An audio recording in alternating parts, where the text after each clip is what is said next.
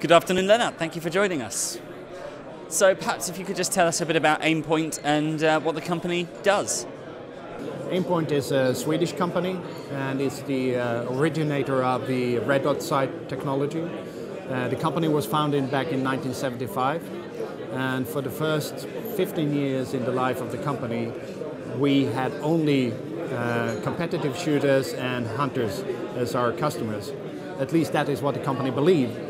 But now we know that professional users like uh, elite military forces and uh, police forces used our sight very early on. So, before you were talking about your presentation was titled The Future in Sight. If perhaps you could summarize that for us. Well, the future in sight is really our slogan. Uh, it's, uh, we've used that sentence since way back, and uh, we're going to use it for a long time as well. What I mean is also that this is the future in optical sights, of course.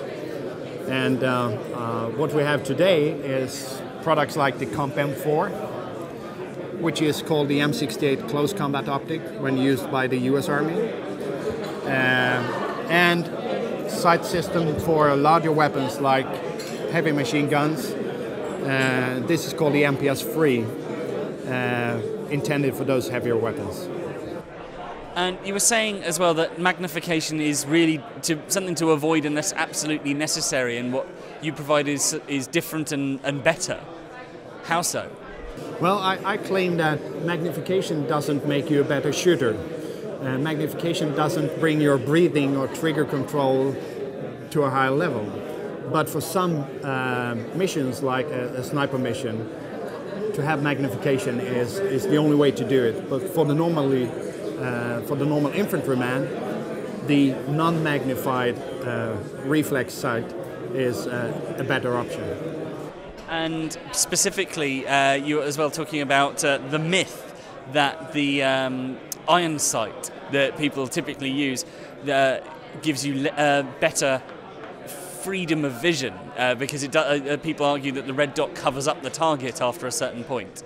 Well, that you're absolutely right, Dan. That that is a, a myth which is spread and based on the fact that people haven't tried our product. Because if you take the front post of an iron sight, the width of the red dot is only one eighth of, of that uh, width of the front post.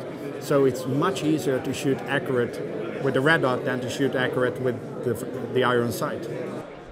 And um, I'm intrigued to know about you, uh, how it works in terms of head position because I know that uh, there was a, uh, you were talking before about parallax and, uh, and issues like that.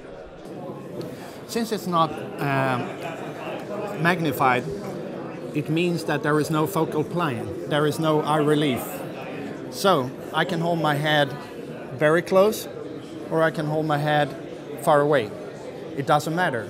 It's a sharp image. I see the real world. I see the red dot as an overlay to that real world. Uh, and when I look through it, I don't have to center the dot. The dot can be anywhere inside the lens area. As long as I can see it, that's where I'm going to hit.